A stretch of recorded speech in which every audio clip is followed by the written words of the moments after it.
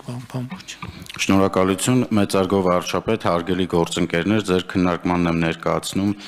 Պահոստային ֆոնդից արտակարգ իրավիճակների նախարարությանը 157 միլիոն 816100 դրամ հատկացնելու մասին նախագիծը, ինչը պայմանավորված է փետրվարի 6-ից Թուրքիայում եւ Սիրիայում գրանցված ուժեղ երկրաշարժի հետևանքով առաջացած խնդիրների հաղթահարման համար այդ երկրների կողմից հումանիտար օգնություն խնդրելու հանգամանքով դուժազներին մարդ, մարդասիրական օգնություն տրամադրելու նպատակով նշեմ, որ պարոն վարչապետ ամբողջությամբ տրամադրված է հումանիտար օգնությունը դեպի Սիրիա երկու անգամ օթային ճանապարհով ուղարկվել են բեռները եւ դեպի Թուրքիա երկու անգամ ցամաքային ճանապարհով, այսինքն ամբողջությամբ խնդիրը կատարված է եւ հիմա մնում է գումարի հատկացումը խնդրում եմ հաստատել շնորհակալություն շնորհակալ եմ նաև ավելացնեմ որ մեր փրկարարները Սիրիայից վերադարձել են եւ այսօր էլ Թուրքիա մեկնած մեր փրկարարներն են վերադառնում, ցամաքային ճանապարհով են վերադառնում եւ նաեւ տեղյակեք, որ երեք արտաքին գործերի նախարարը այց է կատարել Թուրքիա, որը կարծում եմ շատ կարևոր եւ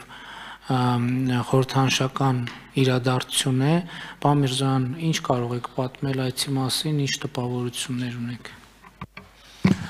Մեծարգո Պարոն հարգելի գործընկերներ, ըստ էության այցը բավականին մանրամասն կերպով հրաապարակային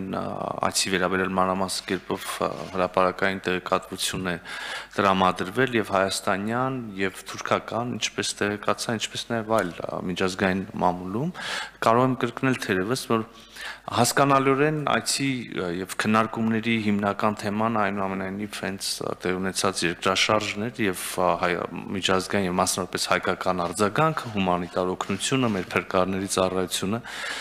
Պետք է փաստեմ, որ թուրքական կողմը եւ կենտրոնական իշխանությունների մակարդակով եւ տեղում, որովհետեւ այցելեցինք նաեւ աղետի գոտի, տեղում վարչակազմի մակարդակով եւ բնակչության արձագանքների մակարդակով այսպես բավականին գնահատանքի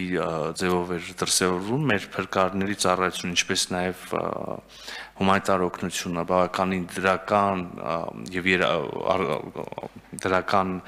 արձագանքի է արժանացել, երախտիկի է արժանացել, ինձ նաև փրկարների հետ շփվեցինք, պատմեցինք թե բնակչությունն ինչպես է վերաբերվել եւ կարծում եմ որ սա մեր կողմից կարեւոր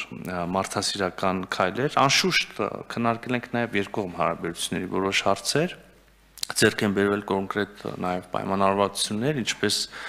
թուրք գործընկերը տեղեկացրեց մամուլի հաղորդակցության ժամանակ, ես էլ կարող եմ փաստել, որ որոշում կա արագացնել երկխոսության այս գործընթացը եւ վերջնական սահմանների բացման նպատակով տեղ ունեցող գործընթացը մեր փրկարները ինչպես նշեցիք կվերադառնան կրկին ցամաքային սահմանով ինչպես եւ օկնության երկրորդ խմբականակներ գնացել հայտարվեց, որ մենք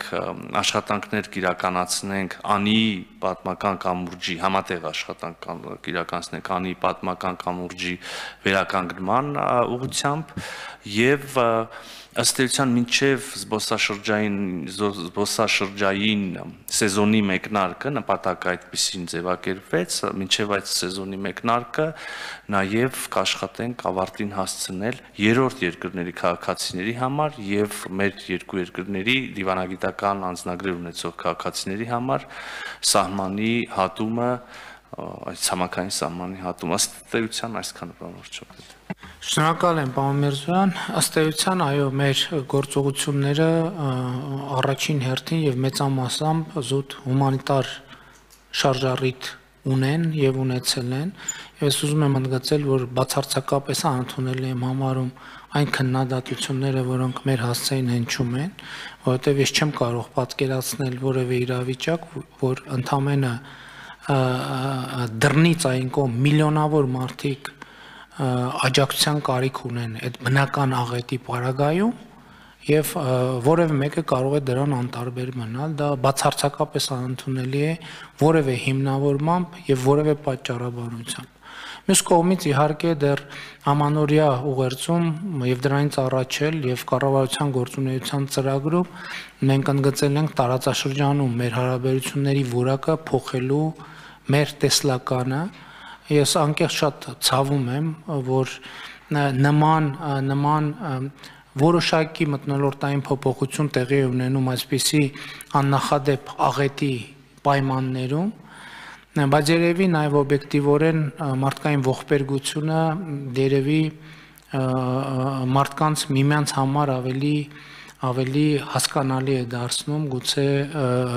գուցե դա նաև օբյեկտիվ իրականություն է եւ հույս ունեմ, որ իսկապես իսկապես սա կարող է մի նոր ելակետ դառնալ տարածաշրջանում հարաբերությունների հաստատման Հայաստանի եւ Թուրքիայի միջև հարաբերությունների հաստատման համար դուք խոսեցիք անի կամուրջի մասին ասեմ որ մենք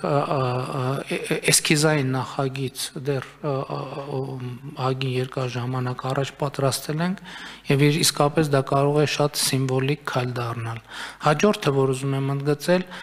պետք է ասեմ նաեւ որ Սիրիայի ուղղությամբ մեր աշխատանքները նույնպես շատ կարևոր եմ համարում, գիտեք օբյեկտիվ եւ սուբյեկտիվ բազմաթիվ հանգամանքներ կային, որոնք Սիրիային հումանիտար օգնությունը պակաս հասանելի էին դարձնում եւ պիտի արձանագրեմ, որ Հայաստանը առաջին երկրներից էր, ով որոշում կայացրեց եւ հումանիտար օգնություն ուղարկեց Սիրիա, մենք պլանավորում էինք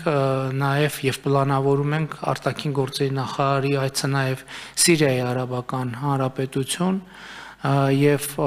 նաեւ եթե Սիրիայի մեր գործընկերները դեմ չլինեն, առաջիկա մենք նման այց կկազմակերպենք, նաեւ կարծում եմ Սփյուռքի գործերի գլխավոր հանձնակատարը պետք է անպայման այցելի այց կատարի Սիրիա, որ เป զի նաև մեր զորակցությունը արտահայտվի։ Եվ իհարկե մենք մեր հնարավորությունների չափով պիտի նաև հաղորդակցության մեջ լինենք եւ Սիրիայի եւ Թուրքիայի կառավարությունների հետ, որ เป զի տեսնենք, թե ինչ հնարավոր աջակցություն կարող ենք ցուցաբերել, որը մեր կարողությունների սահմանում է եւ նաեւ այդ աջակցության օգնության անհրաժեշտությունը կա եւ եւ ցավալի է որ նման պայմաններում ենք մենք գտնվում, այսինքն այդպիսի աննախադեպ աղետ է տեղի ունեցել, բայց մյուս կողմից մենք չենք կարող անհաղորդ լինել այդ աղետի հաղթարման գործում մեր տարածաշրջանի երկրներին, մեր հարևաններին աջակցելու հարցում։ Խնդրեմ